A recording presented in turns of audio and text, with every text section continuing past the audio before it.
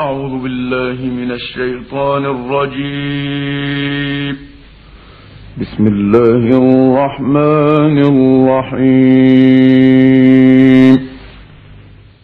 ورسلا قد قصصناهم عليك من قبل ورسلا لم نقصصهم عليك. السلام عليكم ورحمة الله وبركاته الحمد لله وحده والصلاة والسلام على من لا نبي بعده أما بعد Brothers and sisters, it's been a very, very long hiatus from our series, The Stories of the Prophets. And I know there has been a lot of uh, requests and demand.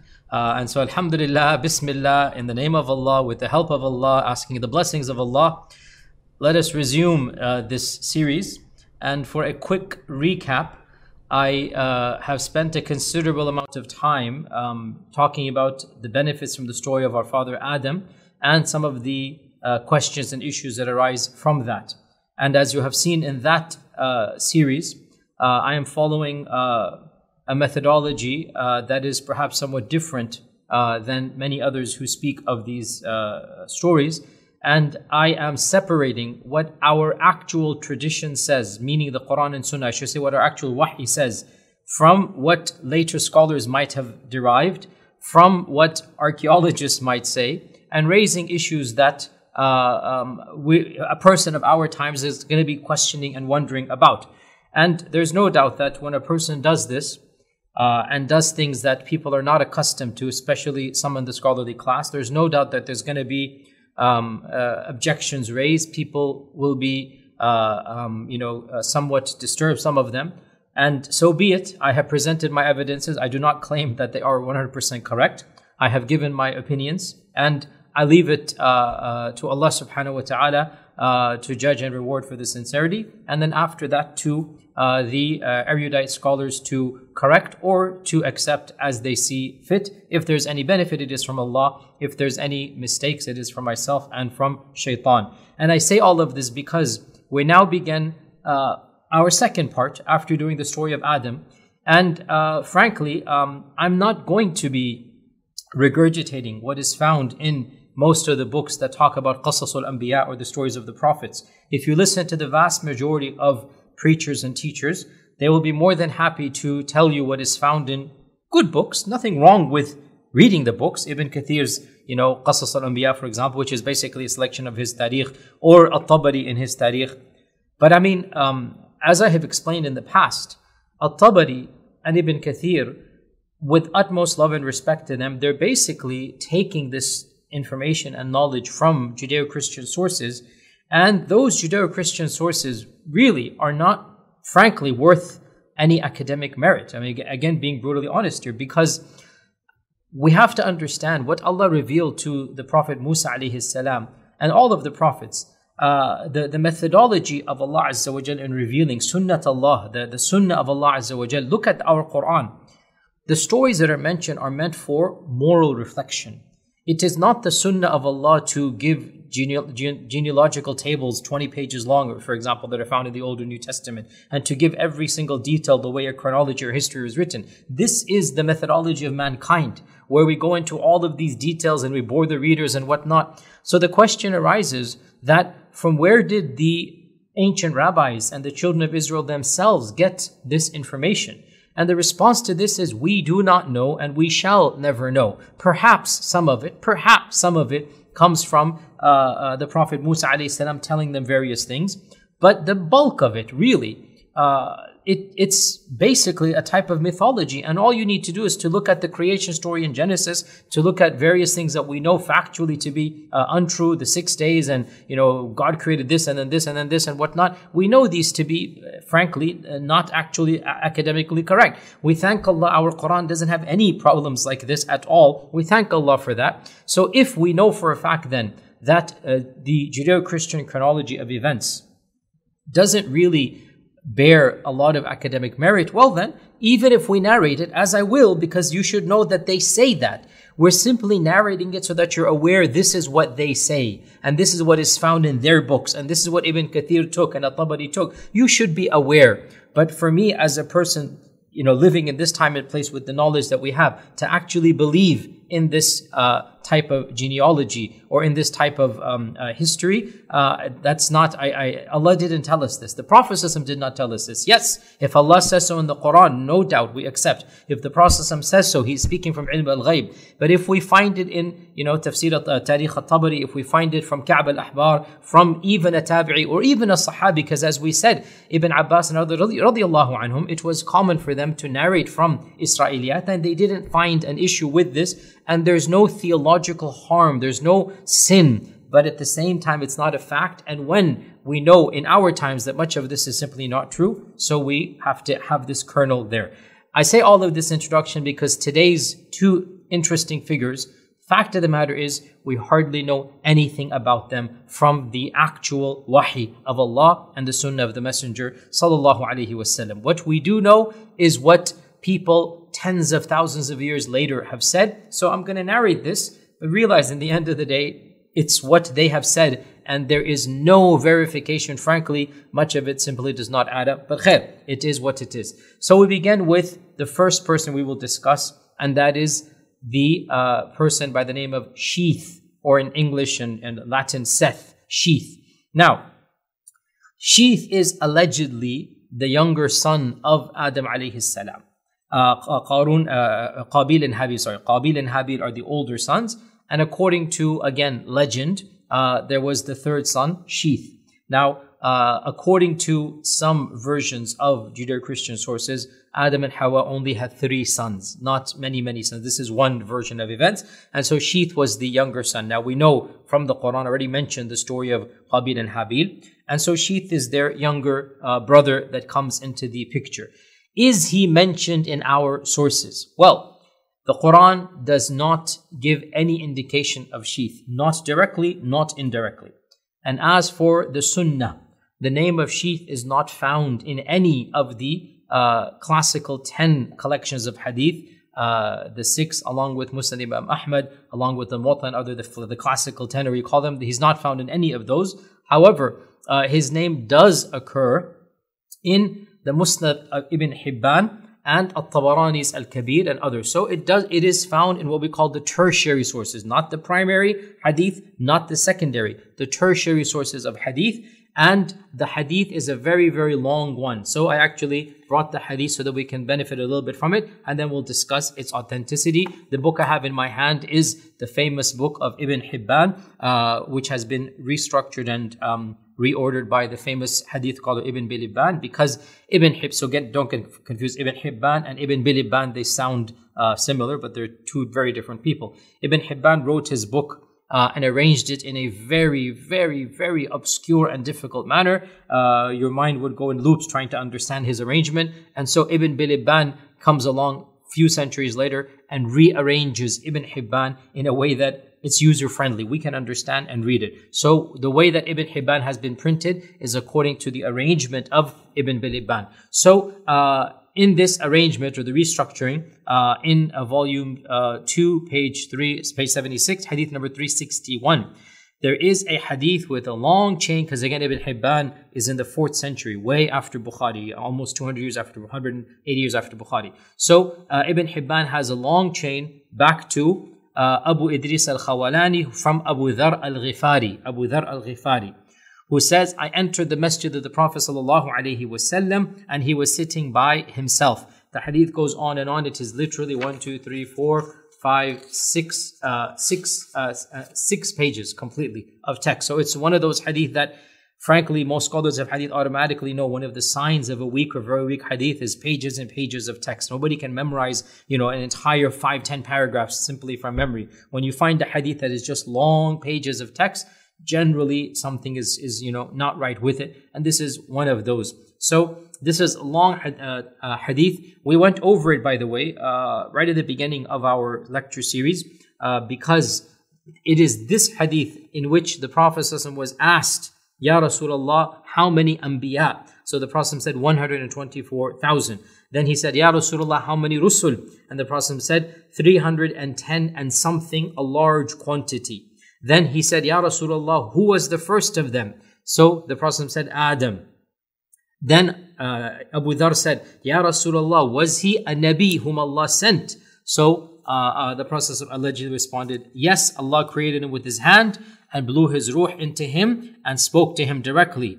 Then the Prophet allegedly says, O Abu Dhar, four of them were Assyriac. Four of them were Assyrian ethnically. Assyrian. So uh, Assyrianiyun, Assyrians. Uh, it's an ethnicity and it is an ancient civilization. Four of them were Assyrian. Adam and Sheeth and Akhnuch, and that is Idris. And he was the first who wrote with a pen, and Nuh. So according to this hadith, four prophets were Assyrian or Syriac. Adam and Sheeth, that's the only time his name is mentioned in hadith. And Akhnuch, and he is Idris. Memorize this phrase. It is directly in the hadith. Akhnuch wa huwa Idris. So Idris is Akhnuch. And Idris was the first to write with a pen in this hadith. And Nuh. Then he said, four were from the Arabs, O Abu Dhar. Hud and Shu'aib and Salih and your Prophet Muhammad sallallahu alayhi wasallam. Then Abu Dhar said, O Messenger of Allah, how many books did Allah reveal? The Prophet allegedly said 100 books. Four of them were uh, larger books. مئة كتاب وأربعة كتب is um, أنزل على شيث خمسون صحيفة. Sheath was given 50 صحيفة scrolls. So again, we have Sheeth over here. And Akhnuch was given 30 sahifa. And Ibrahim was given 10 sahifa. And Musa was given before the Torah, Torah uh, 10 sahifa. And then Allah revealed the Torah and Injil and Zabur and Quran. These are the four that are kutub, right? So how many uh, books did Allah reveal? 100 books. Four of them are really significant books. And then uh, eh, the Prophet mentions these uh, uh, five here, four here, ten here, ten here. And of them, it says that uh, Sheath got 50 sahifas, 50 sahifas, like a huge quantity were given to Sheath. Akhnuch gets 30, and then on and on. And then the hadith uh, goes on and on, but that's not relevant to us in this particular lecture series. Now, this is the only time that sheath is mentioned in an alleged hadith. As I went over uh, way when I started the story of Adam alayhi we went over this hadith for the number of prophets. This hadith is not just weak, it is very, very weak. Uh, and uh, honestly, the, the signs of it not being authentic are beginning to end. Um, of them, like I said, is the length, and of them is this extreme amount of minute detail that again would be bizarre to find. And of them, frankly, even the history mentioned in it. So to claim that Adam, the first man, is uh, Assyrian just doesn't make any sense. The Assyrian civilization, indeed, it is one of the most ancient, and perhaps the people at that time frame would have thought that it is the most ancient civilization. But we know for a fact that the Assyrians weren't the first of mankind. The Assyrians lived 2000 BC, 3000 BC at max, right? Before them, there were plenty of humans and plenty of uh, people around there. The Assyrians are a developed civilization. There were human beings before them. How can Adam be Assyriac? How can Adam be a later uh, ethnicity? It does not make any sense. In fact, how can Adam be any civilization? He's the founder of all civilizations. So to claim that Adam is a Syriac, it shows us that this is not coming from the wahi, from uh, a source that is 100% authentic. These are the standard folklores and legends that permeate, you know, for the first 300 years. And then sometimes, you know, uh, accidentally, that's what a da'if hadith and what a weak hadith and what a forged, fabricated hadith indicates. Because when we say the hadith is fabricated or very, very weak, essentially what we're saying is that in all likelihood, somebody is saying this and then a mistake occurs and somebody back projects it to the mouth of the Prophet sallallahu alaihi wasallam. So we say then that uh, there is no authentic mention of sheath, uh, Seth in the Quran and the Sunnah, but because he occurs in a da'if hadith, uh, very da'if hadith. Let's just mention very quickly about some of the things that are mentioned in the folkloric tradition. As for the Quran and Sunnah, as we said, authentic Sunnah has nothing about uh, sheath. Now, what is mentioned in the books of tafsir then, because now we have this uh, uh, alleged hadith mentioned here, so automatically it's going to bring about some discussions and some references uh, from the Sahaba and Tabi'un. And so we have, for example, At-Tabari mentions a number of things about sheath, both in his tafsir and in his tarikh. So At-Tabari uh, has a, a, a statement attributed to Ibn Abbas in which he said that when Adam alayhi salam died, Sheath said to Jibreel that, O Jibreel, pray the salat over Adam. And Jibreel said to Sheath, actually, you pray over your own father. And then he taught Sheath how to pray salat al-janazah. And he said, say the takbir 30 times. Five of them is how you're supposed to pray Salat al Janazah, and the rest of the 25 is a blessing and a takreem and an honor for the Prophet Adam. So, this is again one of those uh, traditions we find. Uh, and again, I mean, uh, as we are, as I have said before, a lot of these types of legends and stories they are apocryphal in nature, and we simply narrate them and leave it as it is. And there are also other famous storytellers in our tradition um, the most famous early storyteller. Uh, perhaps I did mention his name in the in the previous sections I've did. If I haven't, then we can introduce him now. Uh, and that is uh, uh the famous storyteller that who was perhaps the first um, very famous carved a niche for himself, uh, Qassas or the storyteller, and he is Wahab, uh, who would tell these legendary stories, and was recorded by and large uh, and, and, his stories were actually compiled in a book. By and large, uh, this person, Wahab, uh, is not considered to be an authority in any sense of the term, and in fact, he's not even considered to be a scholar. But because he happened to be the first at the right time in the right place, all that he said took on a certain weight, and it trickled down into quite mainstream sources, including Al-Tabari, including Ibn Qutayba, and others who mention these types of legends and stories. So once again, in today's lecture, I'm simply telling you what others said, and uh, in our actual analysis, all of this is simply tales. You should simply be aware for general information's sake. So, Wahab says, and this phrase of his ends up in Al-Tabari and Ibn Qutayba and others. Wahab says that Sheath, the son of Adam, was the most handsome of all the children of Adam, and the best of the children of Adam, and the one who resembled Adam the most, and the one whom Adam loved the most. And he was the one whom Adam handed the legacy, the torch was passed down to him. He was the one who took charge after Adam. And he is the father of all other children of Adam. After Adam's generation, everybody goes through Sheath. The other uh, uh, two sons did not have sons that lasted on for many generations, according to Wahab, that uh, all of the children of Adam in our times are descendants of uh, Sheath. And According to Wahab, Sheath was the one who first built the Kaaba uh, with brick and clay, and uh, Allah sent upon Sheath 50 sahifas. Now, that phrase is found in that weak hadith, which shows you that there was this notion from back in the day that Sheath was inspired with the first book to be sent down, and that is 50 sahifas. Uh, and Sheath lived for 912 years. And Sheath gave birth to Anush. Uh, and many other children. And Anush had a son called Qinan, and Qinan had a son called Mahlayil, and Mahlayil had a son called Yarid, and Yarid had a son called Akhnuch, and that is Idris. And then Idris had a son and a son and a son, and then Nuh. So this is a standard biblical lineage, by the way. What he is saying is the Arabicized names that are found in the Bible. According to the Bible, Akhnuch or Idris becomes the seventh son of Adam, and uh, Nuh becomes the tenth son of uh, Adam. There's an even more fanciful tale that honestly I'm, I'm not even going to go into the details because it is so bizarre, but I'm simply saying it because it is found in Tabaqat of Ibn Sa'd and it is found in other source books that are overall reputable. But again, when we say they're reputable, the reputable when, when they talk about their domain. Ibn Sa'd's Tabaqat is meant to discuss the Sahaba Tabi'un Taba Tabi'un. When you find information in that generation, take it. But Ibn Sa'd also has a discussion of the previous ummas and nations. So does Al-Tabari. So when At-Tabari and Ibn Sa'd are talking about what they've eyewitnessed or what happened in the generation right before them or whatnot, then yes, that's definitely very, very weighty.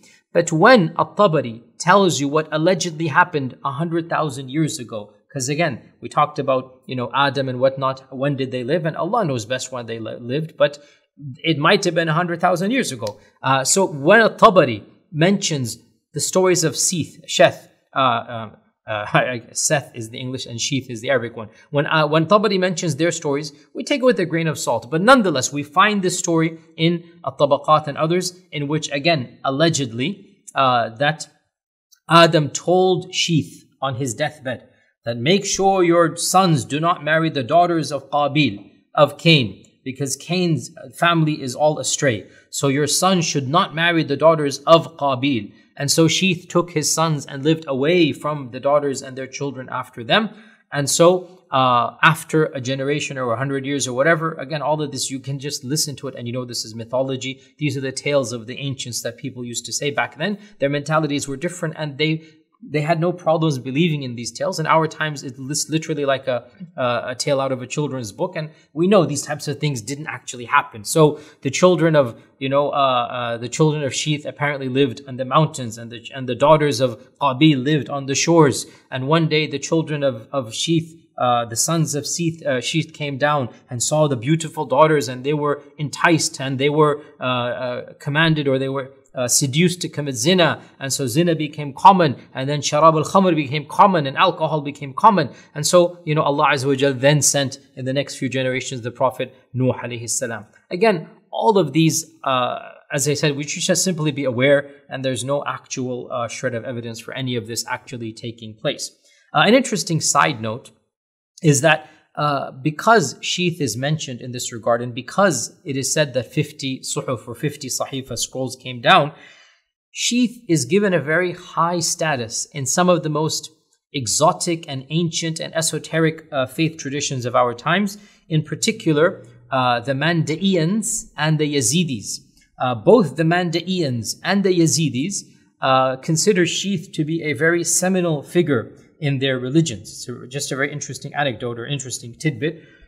For some of you who might not know who they are, the Mandaeans are one of the smallest religions in the world today, and they are one of the most ancient religions, and they're one of the most secretive religions, and uh, it is rare to uh, come across any of them. In fact, and I am who I am. I have yet to actually physically meet a Mandai, I travel and I meet with people of all faiths and whatnot. I've never actually to this day physically met uh, a Mandai. Of course, if I really wanted to, I could go out, and, but uh, in my day to day life that I travel and whatnot, not one. There are probably uh, less than 60,000 left in the world today. Uh, and they go back uh, pre Christianity, they go back to uh, Allah knows when, how many millennia they go back to. And uh, they are the ones whom the Quran references.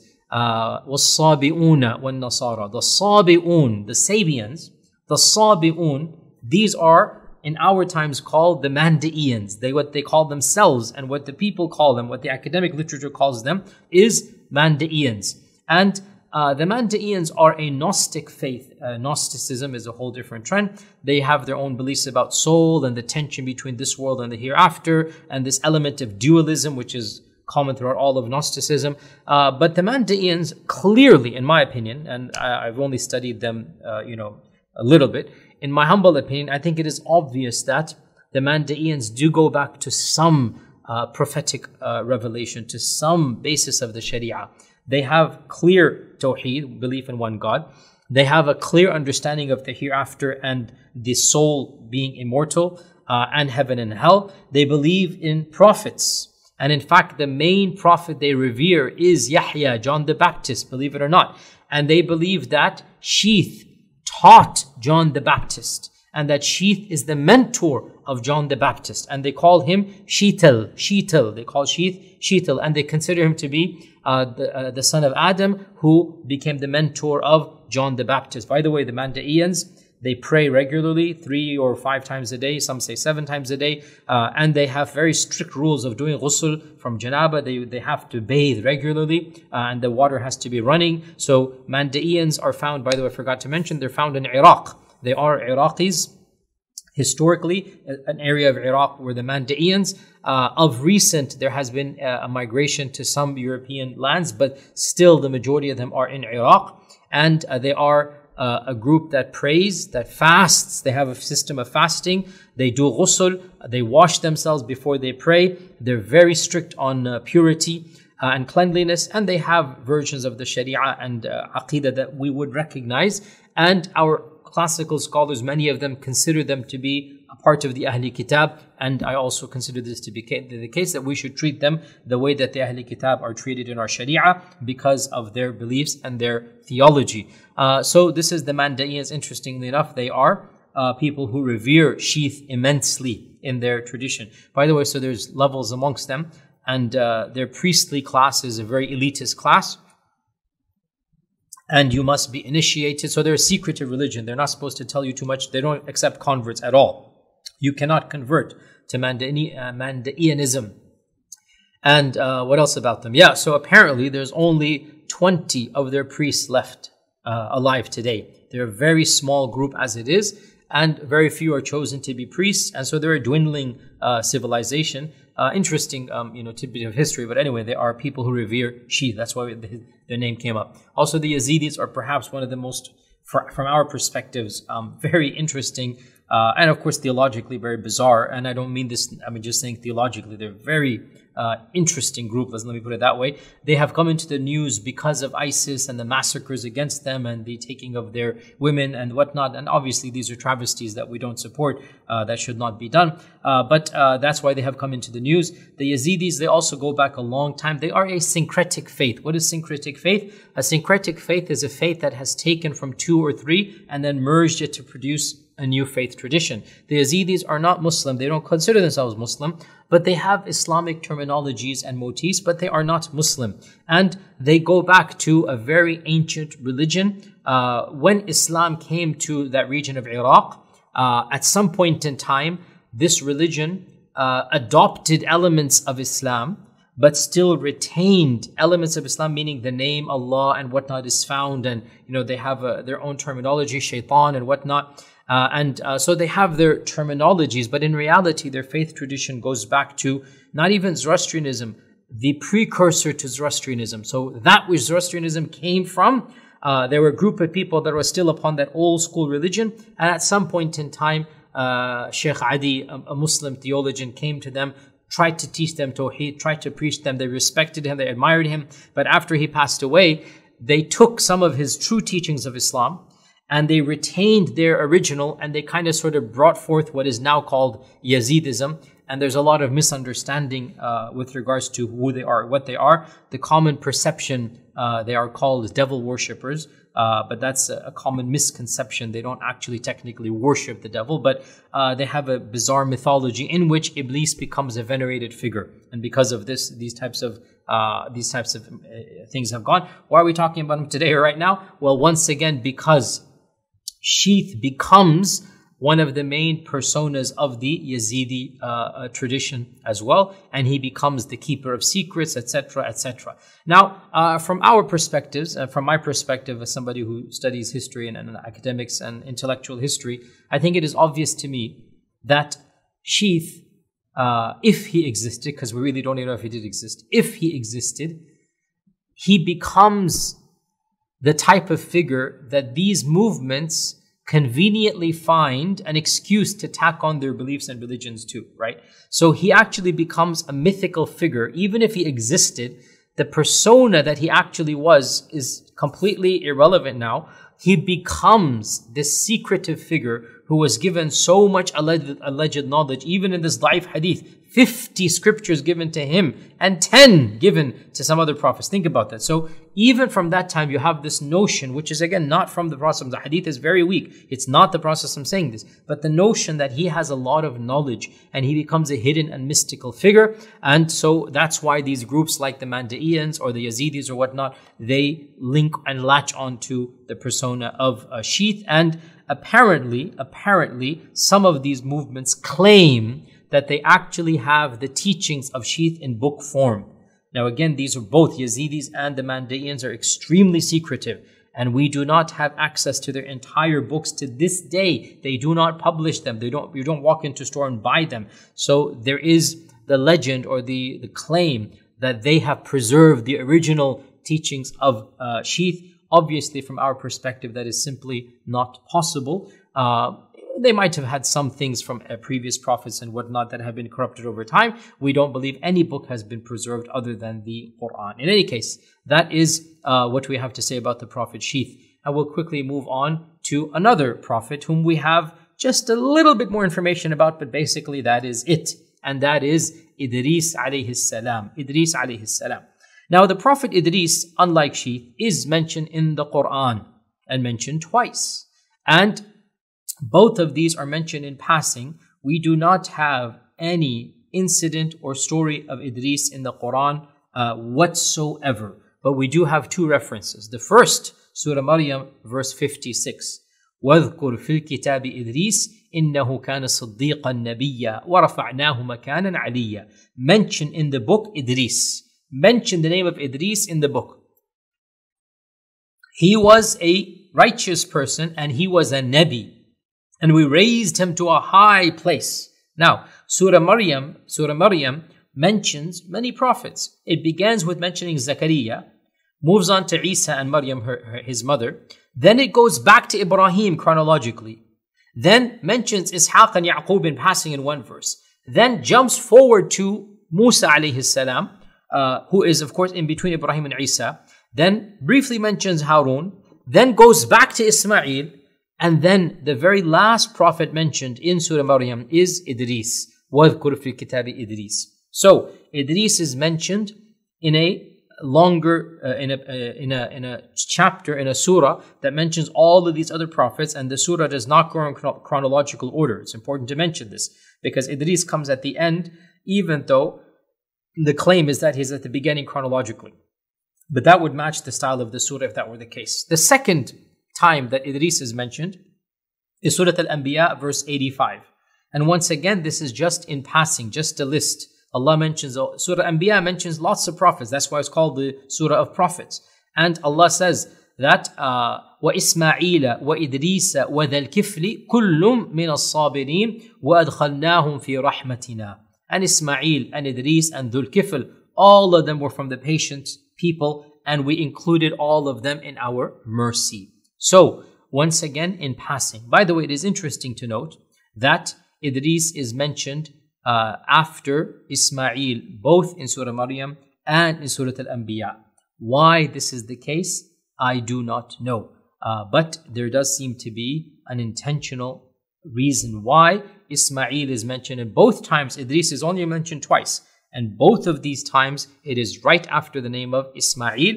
In Surah Maryam, Ismail is mentioned uh, and then the next verse mentions Idris. And in Surah Anbiya, the same verse, وَإِسْمَعِيلَ وَإِدْرِيسَ وَذَا الْكِفْلِ Ismail and Idris and Dhul Kifl all were from the patient. So this is what the Quran says. Now, here we have a Quranic one phrase, وَرَفَعْنَاهُ مَكَانًا عَلِيًّا We raised Idris to a very high maqam, makan. We raised him to a very high level.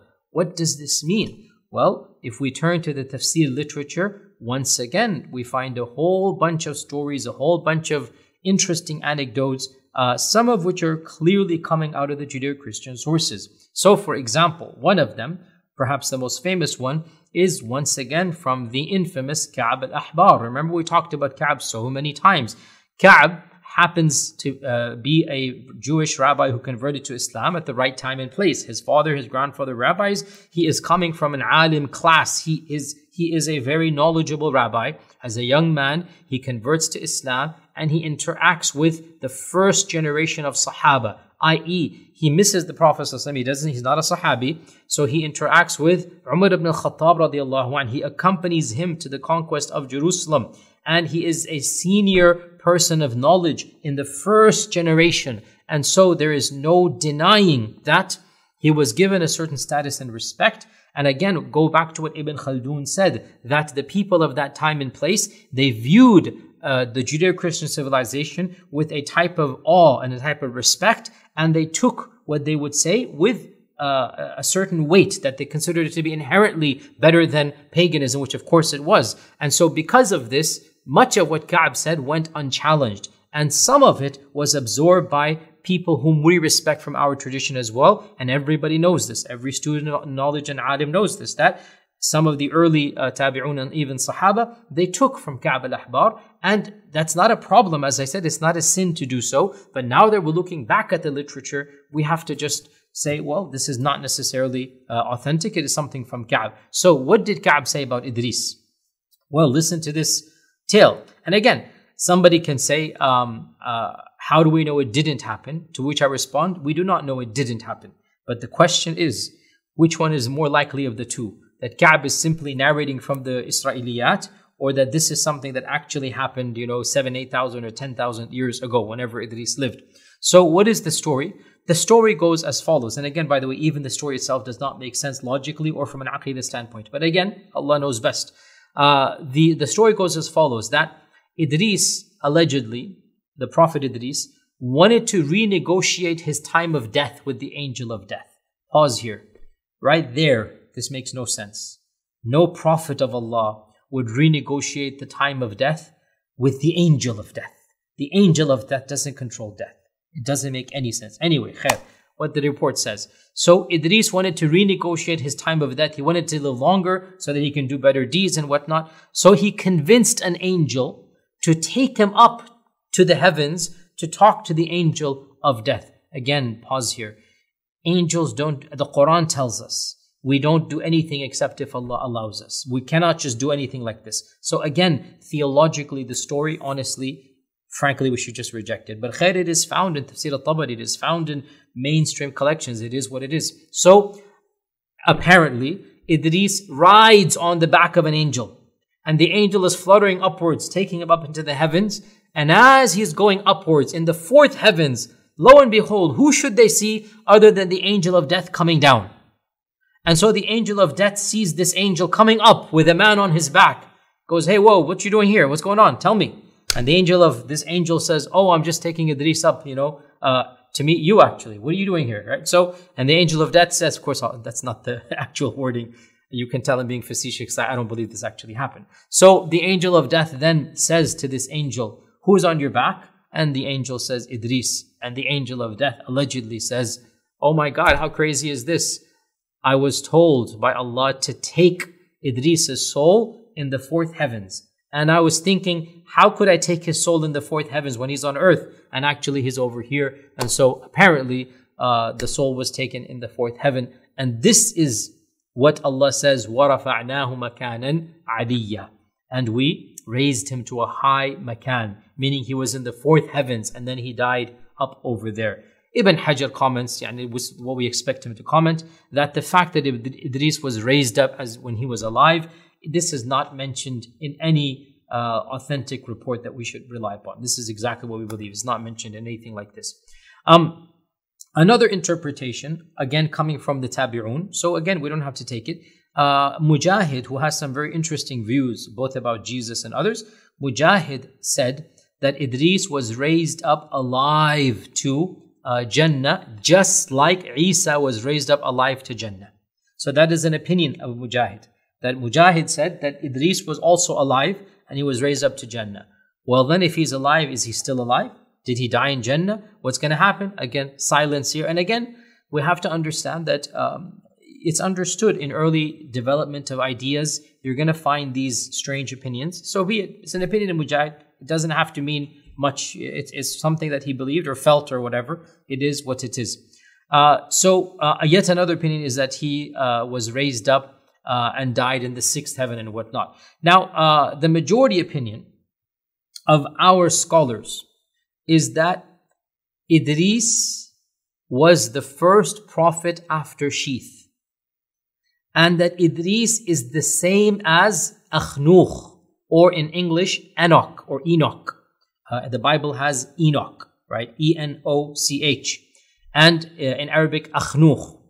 And so the majority opinion is that Idris is Akhnuch and that Idris is a title and Akhnuch is the name.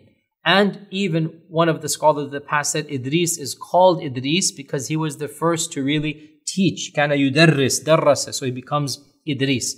Now, once again, with utmost love and respect to our scholarly tradition, when you read in verbs uh, and nouns that are Arabic into ancient names, you know something isn't fully academic because the Arabic language uh, is a developed language. It existed for a period of time and it still exists. It did not exist since the beginning of time. We've talked about this when I talked about the languages of Adam alayhi salam. We know for a fact that people did not speak what we would recognize as Arabic 200 CE, 100 CE. They spoke Proto-Arabic. They spoke a version which is, you know, not recognizable to us, but it would eventually become Arabic. Because Allah revealed the Quran, we now have alhamdulillah, by and large, classical Arabic preserved. But otherwise, you know, uh, to say that Idris or Adam or whatnot spoke Arabic, uh, it does not make any sense, as we said, and I went over this in my previous uh, lectures here. So, uh, the first opinion, as I said, is that Idris is none other than Akhnuch or uh, Enoch. Now, those who say that Idris is Akhnuch or Enoch, then it would make sense for me to mention him now First there was Adam, then allegedly Sheeth, and then Idris, and then Nuh will come. According to the Bible, Enoch is the great grandfather of Nuh. Enoch, Enoch is the great grandfather of Nuh, so the grandfather's father.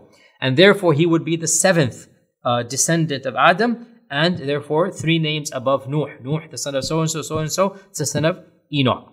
And this opinion is supported by the weak narration I just quoted you from Ibn Hibban. Remember I said, remember the narration.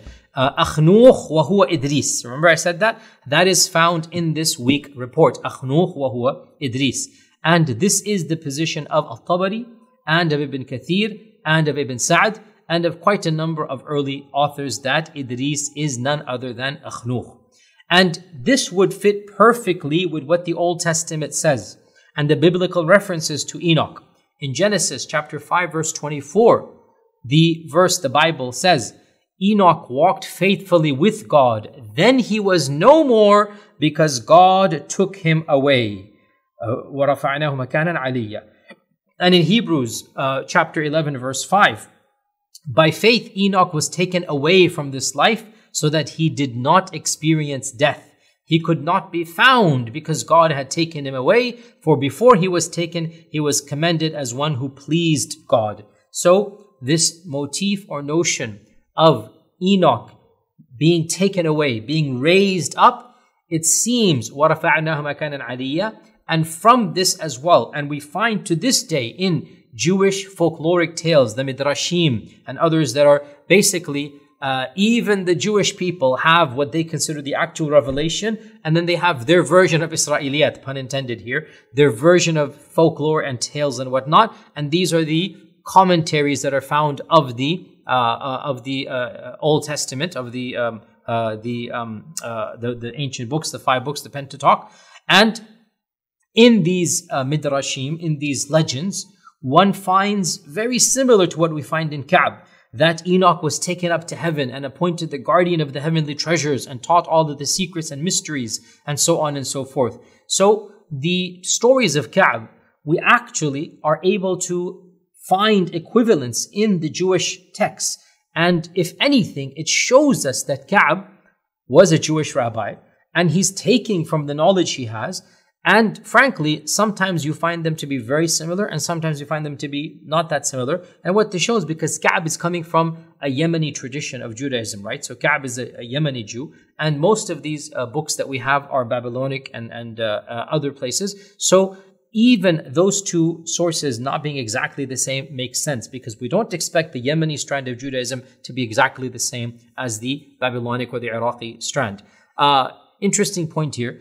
Enoch uh, allegedly wrote a book that is ascribed to him by a sect of Judaism called the Essenes. And uh, you've all heard of the Dead Sea Scrolls and their discovery. So the Dead Sea Scrolls has a book allegedly written by Enoch. It is called the Book of Idris, the Book of Enoch, the Book of Enoch. And it is actually found and whatnot. And of course, we don't believe Enoch actually did this. Now, this is the first opinion, that Idris is Akhnuch or Enoch. And if that were the case, and he is mentioned in the Quran, then chronologically, he should come where I just said him, which is Adam and then Sheeth and then Idris according to the biblical genealogy. There is a second opinion, and that is that Idris is not Enoch. Rather, Idris is a prophet from the Bani Israel. Idris is a prophet from the Bani Israel, the children of Israel. And uh, he should not be mentioned with Enoch at all. And this hadith is weak anyway, so we are mix, mixing up when we say he's Enoch. No, Enoch, according to that opinion, is not mentioned in the Quran and Sunnah. Idris is one of the Israelite prophets. And maybe even he is Elias or Ilyas, Salamun ala Ilyasin, according to one interpretation. And this is the position of Imam al-Bukhari. Imam al-Bukhari leaned towards this opinion. And not only Imam al-Bukhari, but also perhaps some of the Sahaba felt this way as well. It has been narrated from Ibn Mas'ud and Ibn Abbas and others that they thought that the Quranic reference to Ilyas, Salamun ala Ilyasin, that the reference to Ilyas is in fact Idris. And of the evidence that, that they use for this is that when the Prophet went up to Isra Mi'raj and he met Adam, alayhi Adam said to him, Peace be upon you, O noble Prophet and O noble son. And when he met Ibrahim, Ibrahim said the same thing. But when he met Isa, Isa did not say, My noble son, he said, A noble prophet. And when he met Idris as well in the fourth heaven, Idris said, Peace be upon you, O noble prophet, uh, uh, o, o, righteous prophet, and uh, O noble brother, Akhun Kareem. So Idris called him Akhun Kareem. And according to this, Imam al Bukhari says, basically, that if the Prophet had been a descendant of Idris, i.e., if Idris was Enoch, Enoch, then he would not have said, Welcome, O noble brother and O noble prophet. He would have said, like Ibrahim and like Adam, O noble brother and O noble sorry, O noble prophet and O noble son, because Enoch would then be of the uh, uh, ancestors of the Prophet. So Imam al-Bukhari used that phrase which is in his Sahih that Idris says in the fourth heavens to the Prophet ﷺ, Welcome, O noble brother and O noble prophet. The fact that he called him a noble prophet and a noble brother indicates he's not a father. Ibn Hajar comments on this and disagrees with Imam al-Bukhari. And Ibn Hajar says that there is no evidence in this whatsoever. Rather, either one can say that this is a, a mistake from one of the narrators that they're just, you know, they're narrating by meaning. Or he said that Idris is being humble, showing humility, and not raising himself to the level of Ibrahim or Adam and saying, O noble brother. So uh, Ibn Hajar and the majority say Idris is Enoch or Akhnuch. Now, uh, two other things, inshallah, and then we're done for today. Uh, there there are references in hadith to a prophet whom many have interpreted to be Idris. It's an authentic hadith reported in Sahih Muslim and in Musnad Ahmad report, uh, from Muawiyah ibn al-Hakam al-Sulami who said that I asked the Prophet wasallam about divination by drawing in the sand. Pause here. We need to explain. There's always been weird techniques and methods to predict the future. Reading palms, fortune cards, mashallah, drinking shai, and then, you know, uh, looking at the tea leaves, right? You've all seen these types of things, looking into the crystal ball. And all of them have been uncategorically considered haram. And if you believe that this person knows ilm al ghaib, that this might even be, actually, it is a type of shirk. If you believe he knows ilm al ghaib, this is no doubt it is shirk. So, all such things have been shut there's also a technique, it's actually still found in some cultures. As far as I'm aware, it's not common in the Western versions of these types of things. It is called Khattur Raml. And there are various madhabs of Khattur Raml, but they all center around drawing lines in sand and then deciphering those lines. So you draw, either you get somebody else to draw, right? And so the person, you know, you tell them just to draw something and then you decipher. Or uh, you draw somewhat haphazardly, not really thinking things through, and then you analyze what you have drawn. So, uh, you, like a mystical experience takes over you, and you draw it in the sand with your finger, with a special instrument, and whatnot. And if the drawing, in you know, you, the, the person allegedly looks at it and then predicts the future, says you should get married, you should undertake this journey, don't take undertake that business. This is called khattu raml. This is called khattu al-raml. Now, Muawiyah ibn al-Hakam said, I asked the Prophet about doing Khattul Raml. The Prophet was asked about any omen. Auguries, about reading in omens to birds, about fortune telling. And he kept on saying, and haram, and this is, you know, your salah is not accepted for 40 days, and whoever does this doesn't believe what has been revealed to me. When he was asked about khatt al-ramal, he gave a very, very, very atypical and interesting and somewhat, yeah, we have to think uh, deeply about it, answer. He said, there used to be a prophet who would write in ramal. كان يخط به. He would draw the ramal.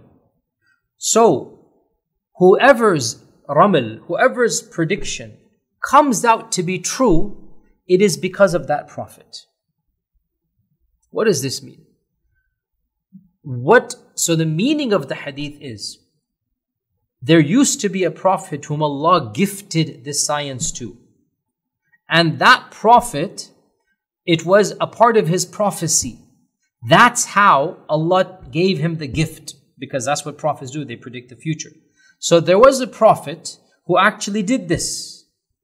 And therefore, whoever's prediction of your groups is correct, it is because the remnants of what that prophet did have reached this person. Now, our scholars have interpreted this hadith, and I think legitimately so, uh, with the claim that this is a prohibition but an indirect one. Instead of saying it's haram, instead of saying not allowed, if the Prophet said it's haram and it's not allowed, that would be problematic insofar as a previous prophet did it correctly. So the Prophet had to say something that respected the right of the previous prophet to do this while indicating that it's not allowed for the rest of us. And so what he said was, a prophet of the past used to do this. I can't say anything about that.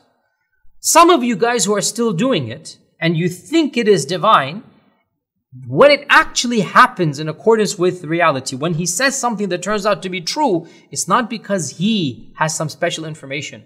Rather, it's because of what knowledge was given to that prophet, eventually made its way indirectly to this person. But because this person is not a prophet, and because sometimes he's going to be right or wrong, you should not get involved in this science. This is what the majority interpretation has been.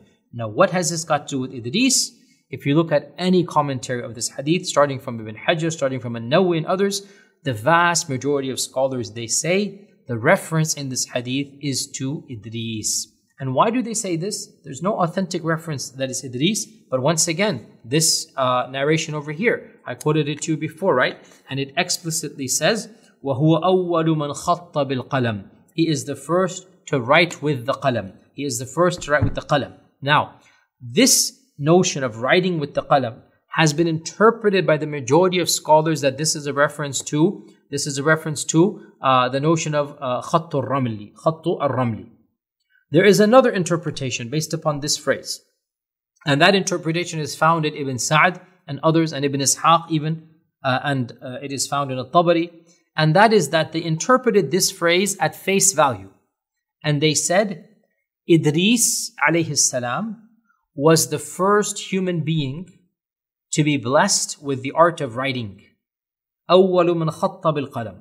So Allah gifted Adam the ability to speak. Allah gifted Idris the ability to write. Allah gifted Nuh the ability to build ships. Allah gifted Dawood the ability to bend uh, uh, metal and, and, and iron, and so on and so forth. And so the notion came that Idris is the founder of not even writing civilization. And you find again bizarre, you know, statements in past books. Ibn Taghribardi, uh, one of the medieval scholars of, of, history, actually has even more longer than this. He was the first one to uh, plan a city, right? To have a city planning is Idris, okay? And uh, the the Grand Mufti of Egypt, الذي استحال دم المسلمين في المسجد that person the Grand Mufti of Egypt actually said that Idris was the one who built the pyramids can you believe Idris was the one who built the pyramids of Egypt and he actually said what can we say about this he actually said that the Sphinx represents Idris. It was meant to represent the Prophet Idris. Anyway, so as I said, we stick with the Quran and Sunnah, and uh, other people's statements remain other people's. Uh, there is no evidence that uh, Idris was the first to write with a pen. Uh, the notion that he was the first to start writing is also problematic insofar as human writing goes back relatively recent and humanity is far, far, far beyond this. So mankind has been alive since, you know, tens of thousands of years and writing is really relatively recent, only a few thousand years. So if Idris were Akhnuch, and Akhnuch is the great grandfather of Nuh, which means writing is going to predate the flood, then this would change a lot of everything we know about archaeology and history. It would not make any sense. Rather, firstly, what the Prophet said, the authentic version is Khatt al-Raml, not the first writing, Khatt al-Raml, which is divination by drawing in sand. And secondly, the authentic hadith does not mention the name of Idris. If it is Idris, no problem, but it's nothing about writing. And then thirdly, to extract from this that he is the founder of civilization, that uh, according to Ibn Sa'd, he's the first one to wear clothes made out of cloth. Before him, clothes were made out of leather. So Idris was the first to sow. Idris was the first to build the pyramids. MashaAllah, Idris was the, again all of these legends and whatnot. We take them with a grain of salt, and we uh, frankly see the humanity of our uh, you know tradition. And again, it's it is what it is. Astaghfirullah. This is not meant to cast any doubts on our tradition. It is meant for us to be uh, uh, people who understand the difference between what Allah and His Messenger say and between what anybody else says, no matter how respected and great they are. In the end of the day, they are human beings who are products of their time and places, and especially when it comes to stories of the past, it is human nature to create these legends and myths and whatnot. And so, in the end of the day, this whole hour long lecture, we actually know hardly anything about Sheeth and Idris. And frankly, the entire lecture that I have given you, it is so that you know what others say. As for what we ourselves know from the Quran and Sunnah, Sheeth, absolutely nothing and Idris وَرَفَعْنَاهُ مَكَانًا عَلِيًّا إِنَّهُ كَانَ صِدِّيقًا نَبِيًّا and that is about it. We do not even know if Idris was Akhnuch or whether he was Ilyas. Both opinions are plausible and there is no definitive statement that we can say. Therefore, where we do not know, the wiser thing to do is to not claim to know and to remain silent and say, Allah subhanahu wa ta'ala knows best. Allah wanted us to know Idris. That's why He says, وَذْكُرْ فِي كِتَابِ Idris. He is a prophet of Allah. We are expected to love and believe in him without even knowing any details about him. And that is what we do. We respect and admire him. We affirm what Allah says, وَرَفَعْنَا مَكَانًا عَلِيًّا And we leave its reality and tafsir to Allah subhanahu wa ta'ala. And inshallah with this, I will conclude for today. Until next time, Assalamu alaikum wa rahmatullahi wa barakatuh. فيا ذلي ويا خجلي إذا ما قال لي ربي أما استحييته تعصيني ولا تخشى من العتب وتخفي الذنب عن خلقي وتأبى في الهوى قربي فتب مما جنيت عسى. تعود إلى رضا الرب تعود إلى رضا الرب.